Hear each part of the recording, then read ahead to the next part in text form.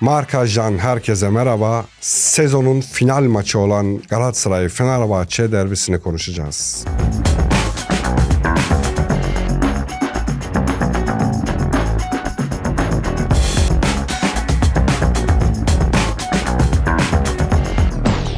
Analize başlamadan önce maçla ilgili maçın sonucuna ve maçta olacaklara dair öngörülerinizi yorumlara yazarsanız sevinirim. Mesela şöyle 2-0 olur, 3-0 olur, şu gol atar. Bu da kabul ama daha çok beklentim hani bu maça özel Icardi'nin işte parlayacağı, goller atacağı veya atıyorum sol tarafta sorunlar yaşanabileceği, sağ tarafta Batshuayi'nin formda olacağına dair bu tarz maça dair, eşleşmelere dair ayrıntılarla ilgili öngörüleriniz varsa hepsini yorumlara bekliyorum. Çok teşekkür ediyorum şimdiden. Bu derbi çok önemli. Bir kere her şeyin dışında Galatasaray buradan yenilmediği takdirde şampiyonluğunu resmiyete kavuşturmuş olacak. Bu açıdan önemli. Fenerbahçe kazanırsa son maça bir ihtimali kovalamış olacak. Fenerbahçe'den bu da önemli. Ama bunlar olmamış olsa ve şampiyonluk önceden garantilenmiş olsa dahi Galatasaray Fenerbahçe derbisi bu ülkenin belki de en önemli maçı olmasını hala devam ettiriyor. Haliyle her iki takımın da birbirlerine karşı gösterdiği performans çok kritik. Büyük taraftar gruplarına sahipler 30 milyon 30 milyon diyelim kabaca ve bunların iç içe birbirleriyle iletişime geçtiği bir atmosfer açısından çok kritik. Haliyle her Galatasaray oyuncusu ya da her Fenerbahçe oyuncusu bunun öneminin farkında olarak maça çıkar. Bu arada kimse kimseye fark atmak için değil. Zaten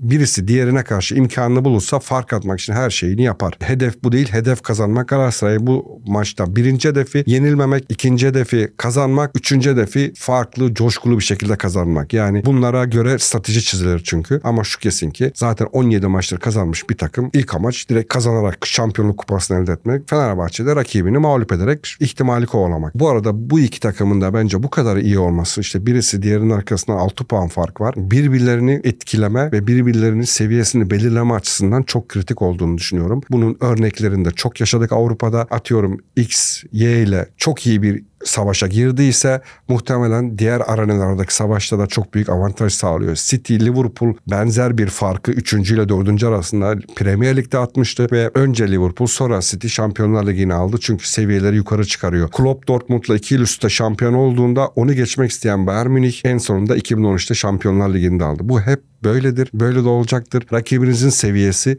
sizin çıkmak zorunda olduğu seviyeyi belirler. Bu da her zaman için aslında birbirlerinden beslenmek demektir ve bu açıdan bence çok iyi bir iki takım karşımızda. Ve hemen maçın analizine geçelim. Önce Fenerbahçe'den başlayalım. Aslında 11'lerde aşağı yukarı belli. Galatasaray'da Sanchez mi Abdülkerim mi Kerem Demirbay mı Berkan ikilemi var. Bütün basının yazdığına göre hemen hemen. ikisini de Fenerbahçe'ye bakaraktan neden ne şekilde olması gerektiği ile ilgili çok rahat konuşabiliriz. O yüzden önce Fenerbahçe'den başlıyoruz. Livakovic kalede hiç şüphe yok ki. Sağ bek Osayi Samuel gelecek ve sol Ferdi gelecek. Şimdi Ferdi Ziyech'le Osayi Barış Alper'le eşleşecek. İşleri iyi gitmediğinde Galatasaray için bir problem yaşadığında Barış Alper'i buraya almak atıyorum eğer o an için Ziyech iyi değilse Kerem'i sola atmak Barış Alper Ferdi mücadelesinde Barış Alper'in büyük bir avantajı var. Fizik avantajı var. Bu her zaman için akılda kalması gereken bir düşünce. İkincisi hatta ve hatta aslında bakılırsa bu maç üzerinde Barış Alper'in sağ kenar performansı da çok yerinde olurdu. Hem Ferdi'yi oyuna katma çok kritik Tadiş topla buluştuğunda hem de ona karşı hücumda üstünlük sağlama açısından. Ama ben büyük oranda da tabii ki Ziyech'in burada olacağını düşünüyorum. O sayede bindirmeleriyle özellikle geçişte geniş alanı kullanma becerisiyle kritik ama o sayı Barış Alper eşleşmesinde de Galatasaray adına yine kritik bir nokta var. O da şu ki Galatasaray doğru ön alan presini yaptığında bence hani herkes stoperlerde bir yönlendirme yapıyor ama Galatasaray oraya Mertens ve Icardi aynı anda yolluyor. Asıl yönlendirmenin yapılması gereken nokta bence Osayi'ye topu aldırmak ve Osayi her zaman için oyun kurulumunda biraz kritik olabiliyor ve Barış Alper presi burada etkili olabilir. Başka açıdan ön alan presinde içerisinde Ziyech de Ferdi'ye benzer baskıyı uygulayacak ama Barış Alper Osayi ikilisinden bir sonuç doğabilir her zaman için doğru baskı olduğu takdirde. Fenerbahçe'nin stoperleri Bekao'nun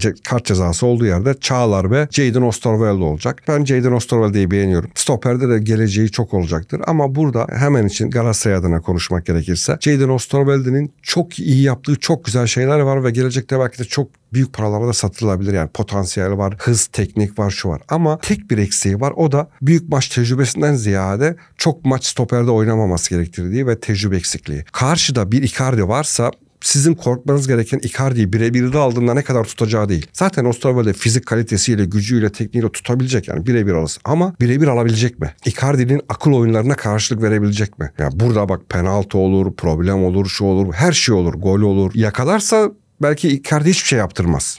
Çünkü cidden büyük bir fizik var, güç var, teknik var, geriden oyun kurma var. Jadon Osterwelder ama tecrübe eksikliği ve karşıda bir Kurt Fox in the box mevcut ve çok dikkat etmesi gerekir. Avantajlar ve dezavantaj söz konusu olduğunda bu. Ferdi'yi Tadiş'ten bağımsız işlemiyoruz ve asıl kritik noktaya geliyorum. Fenerbahçe söz konusu olduğunda Fenerbahçe'nin hücumu olduğunda. Bence Fenerbahçe sete yerleşip iş yapmak değil de daha çok geçişi kovalayacaktır. O yüzden Ciku burada çok denk geldi ama doğru da oldu. Eğrisi doğrusuna denk geliyor. Çünkü daha çok top kapmalarla beraber hızlı hücumlar, geçişler kovalayacaktır. Ciku'nun Fred'le beraber en büyük önemli artılarından birisi. Fred'in enerjisi yüksek, Ciku'nun savunması yüksek. Top kapıldıktan sonra Şimanski üzerinden birinci hedef Tadic. Ve Tadic'in daha önceden burada Fenerbahçe Galatasaray maçına detaylı işlemiştim. Orada Trabzonspor örneğini vermiştim. Bakın Kayseri Spor maçına bakın Kayseri Spor'un yakaladığı çok kritik bir pozisyon var ve topu Ciku'nun ya da Osterwolder'in de pasında daha gelmeden müdahale ediyor ve kapıp çok güzel bir şekilde kontra 4'e 3, 3'e 2 yakalıyorlar ve iki kere bunu yakaladı. Ama eğer Tadic'e topu aldırırsanız ve Tadic kalçasını kullanıp sizi geri itip şöyle bir soluna baktığında çok tehlikeli olabiliyor. Fenerbahçe'nin Galatasaray ceza sahası içerisine en büyük hücum içeriklerinden geçişte de bu geçerlidir bu arada. Sette de bu geçerlidir. Top Tadic'e geldiğinde Nelson ve Kaan Ayhan arasındaki boşluğa mutlaka birini gönderiyor. Buraya Şimanski gidebilir. Buraya Fred gidebilir. Buraya Ferdi Kadıoğlu gidebilir. Dolayısıyla Ziyech'in bu takibi yapması da çok kritik. O yüzden Ziyech'ten Barış daha mantıklı olur diyorum her zaman için. Çünkü Ferdi hücumda bu açıdan kritik role sahip. Ama bu takibin çok iyi bir şekilde yapılması gerekir. Sadece Fred değil. Sadece Ferdi de değil. Sadece Şimanski de değil. Bu üç oyuncunun aralara girdiği andan itibaren Tadiş tarafından çok iyi beslendiğini ve buraya çok iyi çalışıldır. Hatta ve hatta Kayseri Spor maçında yakalanan pozisyon neydi? Tadiç 9 numaranın boşalttığı boşluğa forvetleşip ve onun bıraktığı boşluğa da Fred girdi. Karşı karşıya kaçırdı biliyorsunuz. Buraya herkes girebilir ama kritik nokta Tadiç. Tadiç'i Trabzonspor e, ilk mağlubiyetini aldırdı Fenerbahçe'ye. Hatırlayın nasıl durdurdu tek mağlubiyetlikte. Çok yakın savundu ve top gelmeden aldı. Çünkü her zaman için geçişlerde, sette, şurada burada birinci ana noktası budur ve bu oyuncunun zekası da var. Topu koruma becerisi de var ama top gelmeden hızlı bir aksiyonla alır. Kaan Ayhan Tadiç eşleşmesi Fenerbahçe'nin hücum mu yapacak yoksa pozisyon mu yiyecek kısmında Galatasaray için aynı şekilde başarılı olması ve maçın gidişatını belirleme açısından çok kritik. Ben buradaki en büyük eşleşmeyi bu ikisi arasında buluyorum. Bu birinci nokta. Fred mesela dar alanda da becerikli, hızlı hareketli, kısa boylu çıkabiliyor. Hata da yapabiliyor. Zaten Fred'i tekte oynatırsanız çok iyi işler yapabiliyor ama Fred'in biraz alıp düşünmesini beklerseniz topu sürdüğü andan itibaren Fred'e baskıyı doğru zamanda yapmanız gerekir. Her zaman için Fred biliyorsunuz top kayıplarına çok e, yatkın olabiliyor bu noktada. İyi baskı olursa ama tekte hızlı geçişte oldu mu çok tehlikeli bir oyuncu haline de dönüşebiliyor. Ama ben burada daha çok Ciku'ya diyorum. Ciku çünkü çok iyi test edilmedi. Özellikle dar alanda bir sıkışma yaşadığında oradan çıkarabilecek hareketliliğe ve tekniğe sahip değil. Ama bunun dışında çok iyi top kapabilir. Hücumun başlangıcı olabilir. Bu ayrı konu. Ama top ona geldiğinde oyun kurulumunda iyi baskı olduğunda bu olabilir. Keza Batshuayi da aynı şekilde baskıda top kapılmaya müsait oyuncular bunlar. Dağılmaya müsait oyuncular diyeyim. Her zaman için dikkat etmekte fayda var. Normalde sağ kanatta Cengiz formsuz gibi gözükür ama her zaman şunu söylüyorum ben. Cengiz ne kadar formsuz olursa olsun çok iyi bir bitirici vuruşu var Cengiz'in. Tıpkı Alman ya da işte sol kenar forvet Podolski gibi. Yani hiçbir şey yapmaz, hiçbir şey yapmaz. Biraz boş bıraktığınızda sol kenarda o kendisinin imza vuruşuna çok dikkat etmeniz gerekir. Böylesine bitirici özelliği olan bir oyuncu 90 dakikanın diğer kısımlarında ne kadar başarılı olduğunun hiçbir önemi yok. Her zaman zaman için o tehdidin farkında olarak hareket edilmesi gerekir. O yüzden Delik Köyü'nün o şut içeriğine dikkat etmesi gerekir. Bir ihtimal mesela şu da olabilir tabii ki. Şimanski yerine Mert Hakan yanında şu koyarsınız ve Şimanski'yi de sağa çağ atarsınız. Buraya gelmeden önce oynadığı bölgelerden birisiydi. Çok bunu yapmayacağını düşünüyorum. Çünkü Şimanski konusu ve Tadiç konusu aslında Galatasaray'ın iki tane farklı seçeneği işaretleyebilmesinin anahtarıdır. Nedenleridir aynı zamanda. Bekle stoper arasında veya ceza sahası içerisine illa buraya değil. Koşu yapılacak olan oyuncuların takibi açısından Kerem Demirbay ve Berkan Kutlu e, tercih de burada belirleyici olacaktır. Çünkü bu oyuncular takip edilmek durumundadır. Her zaman için ekstra bir oyuncu ceza sahası içerisine giriyor ve bu bazen Fred oluyor ki Fred büyük maçlarda çok fazla bunu yaptı. Ferdi oluyor. Ziyech akıllı olmak durumunda. Şimanski oluyor. Berkan Kutlu akıllı olmak durumunda. Dolayısıyla bu gibi engellerin dışında Şimanski aynı zamanda ikinci stoperin Galatasaray'ın sol stoperini ya da Ceko'yu tutacak olan stoperin dışında kalan stoperden bahsediyoruz. Nelson, Ceko'yu ya da Batshuayi aldıktan sonra sağ stoper olarak soldaki Abdülkerim olsun, Sanchez olsun. Kim oynarsa oynasın. Şimanski hareketli bir oyuncu. Üçüncü orta saha olabilir. Aslında Şimanski bir genç Mertens gibi oynuyor bu oyunu. O yüzden de zaten Mertens'in yerine düşünüldü. Pek çok açıdan Mertens'e çok benzerliği var. Oyun kurulumunda Galatasaray önünde ciddi baskı yaptığında Sanchez mi daha iyi Şimanski'yi takip edebilir yoksa Abdülkerim Bardakçı mı? Kapılır kapılmaz ekstrem işi yapacak olan Tadic'le veya direkt kaçan oyuncuyla Batshuayi ile topu buluşacak olan oyuncu Şimanski. Oyunu kurdurup artı bir sağlayacak olan Şimanski. Önde çok fazla orta sağlaşacak olan Şimanski. Haliyle Nelson'un işi belirli ve basit. İster Jack olsun ister Batshuayi tutacak olan oyuncu ama bu gezgin forvet karakterli oyuncunun peşinde kalabilir bir ömür. Haliyle burada seçimi yaparken asıl problemli oyuncunun Şimanski'nin tutulması kontrol altında olması olduğunu unutmayalım. Keza Şimanski, Fred veya Ferdi ceza sahası içerisine girdiğinde Torreira ile beraber Kerem Demirbay mı yoksa Berkan Kutlu mu bu geçişleri çok iyi bir şekilde içeriye takibini yapacak? Problemli olduğu bir dönem vardı. Alanya Spor maçı geçen sene. Mesela işlemiştim. Oliveira geriye o takibi yapmadığı için neredeyse 3 golde de payı vardı. Yenilen gollerde ve ceza sahası içerisinde girişlerin kontrol altında tutulması adına savunma oyuncuların çok disiplinli olması gerekir. Diyelim Galatasaray kısmına daha şey işleyeceğiz. Ama Şimanski aslında kaderi sol stoperi belirleme açısından kritik. Batshuayi veya Ceko olduğunda Nelson'un çok fazla geriden uzun Livakovic'in vuracağını düşünürsek eğer her ne kadar ilk maçtaki kadar çok olacağını düşünmüyorum ama yine ön alan baskısında sıklıkla Ceko vuracaktır ve burada Nelson'un santroforu ne kadar iyi tuttuğu önemli. Nelson bu konuda iyi. Ve Fenerbahçe 0-0 biten maçın gizli kahramanıydı. Ceko'ya karşı 8 kez karşılaşıp 7'sinden neredeyse başarı sağlamıştı. Bu en son o Markao'da bile hani çok bahsedilen Markao'da bile ben dakika dakikalarınızda nasıl takır takır indirdiğinden bahsettim. Ama yine kolay değil. Yine sırtı dönük oyuncu oluyor. Ne kadar müdahale edebilirsiniz? vücuduyla şunuyla geçişi sağlıyor. Orada da Tadic Kaan çok kritik her zaman için söylüyorum. Tabii ki bunların dışında Cengiz'in forvet karakteri çok kritik. Oyun kurmada ben bu arada santrafor olarak Batshuayi'nin çıkacağını düşünüyorum. Şimanski, Tadic ve Cengiz Ünder olacaktır. Çünkü geçişte Cengiz Ünder bile önemli role sahip olacaktır. Yani burada dediğim gibi çok fazla Galatasaray'ı kendi sahasına itip orada sette bir şeyler yapmaktan ziyade o öyle bir şey olduğunda İrfan Can'ı arıyorsunuz burada. Oyun zekasını, tekniğini ama bu noktada bitiricilik konusunda hızlı hücumlarda Cengiz Ünder de kilit rol oynayabilir. Ama burada ana gücü Tadic ve Tadic'in atacağı paslar Kayseri bunu yaptı. Trabzon bunu yaptı. Galatasaray da bunu yapacak. Kaan Ayhan Tadic'i çok yakından bir şekilde tutacak. Şimdi çok hızlı bir şekilde Galatasaray'a geçiyoruz. Galatasaray nasıl bir 11 çıkacak? Derek Kön ile ilgili bir şey söyleyeyim. Derek Kön arkasından çok pozisyon iniyor. Aslına bakılırsa bunun sebeplerinden birisi sadece Derek Kön değil tek başına. Çünkü Galatasaray'da biraz daha gezgin rol alıp diyelim ki Derek Kön kendisini ceza sahasına attı. Arkasındaki oyuncu Abdülkerim Bardakçı. Ve bu gezgin oyuncunun arkasında kaldığı sürece bu bölüm komple boşalıyor. Ve bunun arkasına atılacak olan top ki dakika 2'de gerçekleşen topta hiç kimse Abdülkerim'i göremedi mesela. Derik Köy'ün Can Kireç'e yetişemediğini gördü ama Nelson'un kurtardığı pozisyonda Abdülkerim Bardakçı neredeydi? Çünkü Abdülkerim Bardakçı diyelim ki önde baskıda orada burada Şimanski'nin peşinden gittiğinde zaten sıkıntı oluyor. Zaten Galatasaray'ın aldığı risk bu. Zaten diğer takımların bütün büyük takımların stoperi oynatmama sebebi bu. Çünkü bu bir risktir. Top kapıldığı andan itibaren senin stoperin dağlarda, taşlarda ve hücumcu bekinde tabii ki herhangi bir bek zaten ileride yakalandığında arkada kullanılması son derece müsait bir geniş alan oluyor. Bunun artıları ve eksileri var. Ama artılarından başlayalım isterseniz. Mesela Fenerbahçe bunu yapmıyor. Fenerbahçe önde topun olduğu bölgeye doğru adam markajı yapıyor. Yani ön alan baskısı gerçekleştiriyor. Hiçbir zaman için Çağlar veya burada oynayacak olan Jadon Osterweld'in ikisi birden rakip yarı sahaya gidecek kadar adam peşinde koşmuyor. Haliyle Mertens geldiğinde Galatasaray geriden çok rahat oyun kurma şansına sahip. Kaan Ayhan buraya gittiğinde markajcısı adam alan mark alan savunması yaptığı için Fenerbahçe birebir adam markajı yapamadığı için Galatasaray gibi o riski de almadığı için haklı olarak muhtemelen bu tarz oyunlara karşı gelme şansı olmuyor. Ben Galatasaray'ın ve Fenerbahçe'nin bu maçı özelinde geçişlerden pozisyon bulacağını düşünüyorum. Bu bir. İkincisi geriden oyun kuraraktan da Galatasaray'ın oyun pozisyon bulacağını düşünüyorum. Çünkü Fenerbahçe'nin baskısı yetersiz. Kayseri Spor çıktı, Sivas çıktı. Zaman zaman hata yaptırmaya müsait coşkulu bireysel hata yaparsan zaten amenna. Ama büyük oranda Galatasaray geriden oyun kurabilir ve oyun kurduğu andan itibaren pozisyon bulabilir. Birkaç tane yolu var. Kaleci yukarı çıktığında oyun kurmak için artı bir elde ediyorsunuz. Ziyech buraya geldiğinde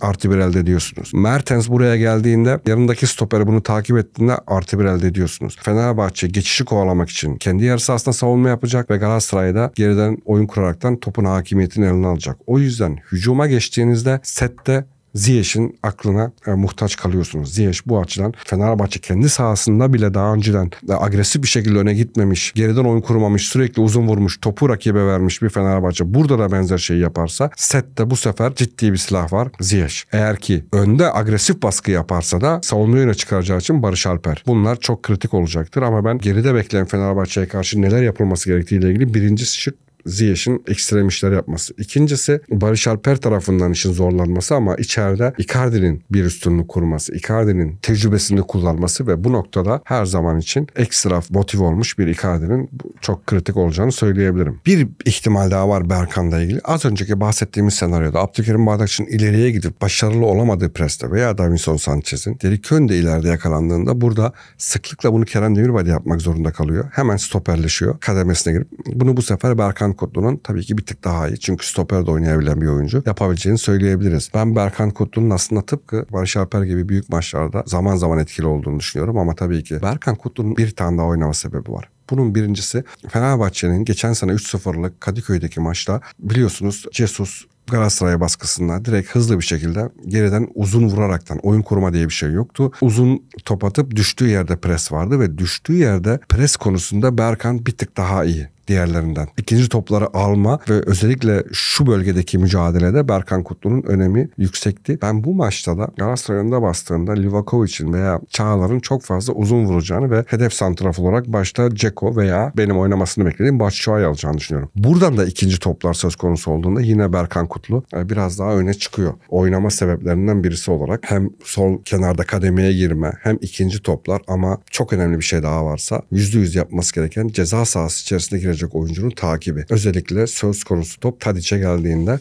burada kritik olacaktır. Baktığınızda Abdülkerim mi oynar, Sanchez mi oynar? Bunu hoca kararını verecektir. Nelson burada. Kaan Ayhan, Derik Kön, e, Torreira, Berkan mı, Kerem Demirbay mı? Bunun da şey olacaktır ama buradaki şey değişmiyor şimdilik. Sadece ve sadece sanki Barış Alper sağda bu maç özelinde çok kritik role sahip olabilir gibi geliyor bana. Ama ben bozacağını düşünmüyorum. Barış Alper solda, Ziyech sağda. Icardi, Mertens önlü arkalı oynayacak. Berkan Kerem Demirbay konusunda şöyle bir kritik noktaya değineyim ben. Analizini yaptığım zaman da söylemiştim ve örnek verdiğim maçta Leverkusen'de oynarken bir birlik Bayern Münih maçıydı. Büyük maçlarda Kerem Demirbay da çok iyi oynuyor. Büyük oranda. Belki konsantre olduğu zaman zaten o basit pas hatalarını da yapmıyor normalde. Ve gerçekten de çok iyi işler çıkarabiliyor. Çok büyük maçlar oynadığı zaman ister Leverkusen ister Galatasaray Kerem Demirbay her zaman biraz olsun performansı yukarı doğru gitmiştir. Bu da her zaman e, akılda kalması olması gereken ayrıntılardan birisi. Gerçekten yüzde yüz kendini verdiğinde inanın yani savunma açısından üstelik bak Bayern Münih'in o bir birlik maçına var ya inanılmaz iyi savunma yapmıştı. Yani şok olurdunuz falan böyle. Ve ben dayının bu tarz maçlarda